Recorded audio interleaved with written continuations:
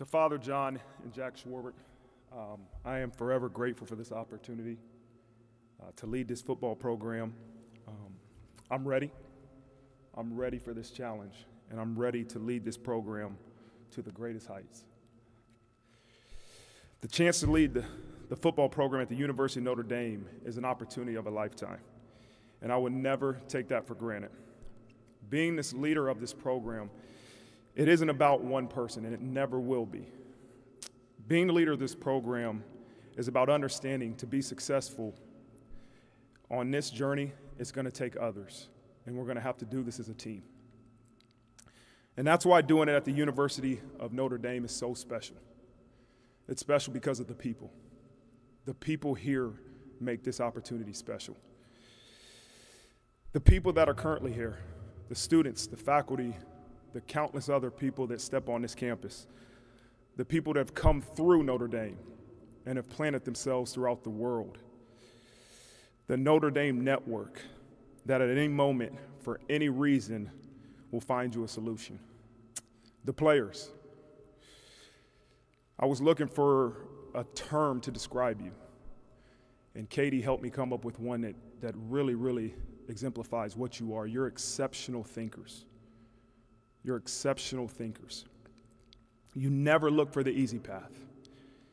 You never take short, most of you never take shortcuts. You're tireless workers and you're committed to excellence in everything you do, and that's what separates you.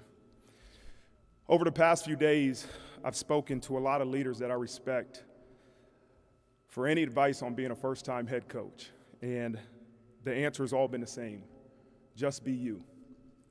So, who is Marcus Freeman? Well, I'm the son of a man who was in the Air Force for 26 years.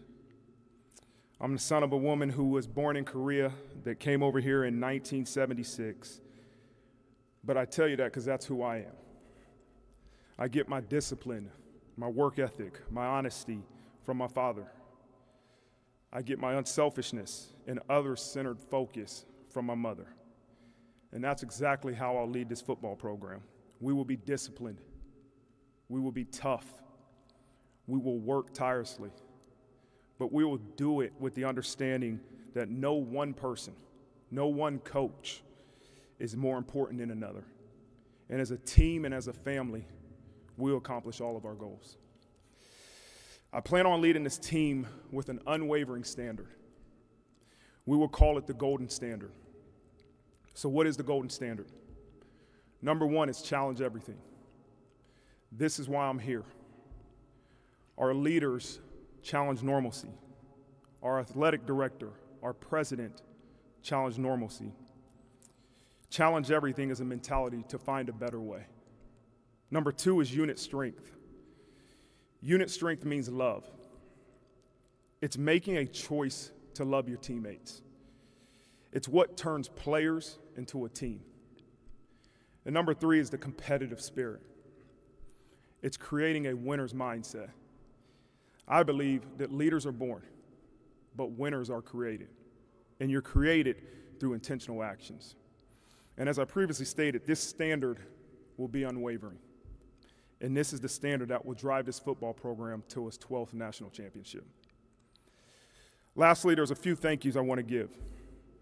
I want to start with my wife, Joanna. My wife, my partner.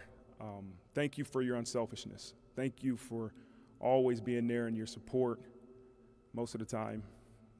You can be my toughest critic, but thank you for just being there. To my kids, Benny, Sienna, Gino, Rocco, Capri, Nico. Sorry, I got all six. There he is.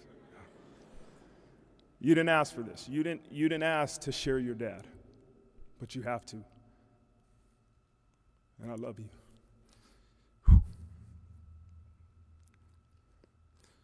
To Father Jenkins, Jack Swarbrick, thank you for challenging everything. Thank you for making a decision to believe in a 35 year old first time head coach. And I vow to work tirelessly to never disappoint you.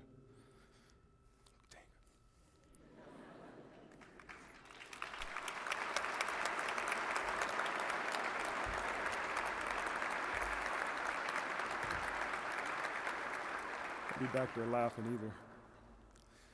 All right, to the Board of Trustees and countless others that approved my hire, thank you. My current and former players, you are my why. You are my motivation. You are the reason I get up every day and work as hard as I can. To see you all reach your goals, to see you all set a goal and live out a dream is what gives me my inspiration every day to do what I do. Last but not least, my parents. I've kind of told you their story, but I just want you to know when others say, just be yourself, I am me because of you. In closing, I'm ready to get to work. My sense of urgency is for right now. It's to make sure that this team is prepared on January 1st in the Fiesta Bowl to be victorious versus Oklahoma State. And that's where our focus will be. Thanks for watching ESPN on YouTube. For live streaming sports and premium content, subscribe to ESPN Plus.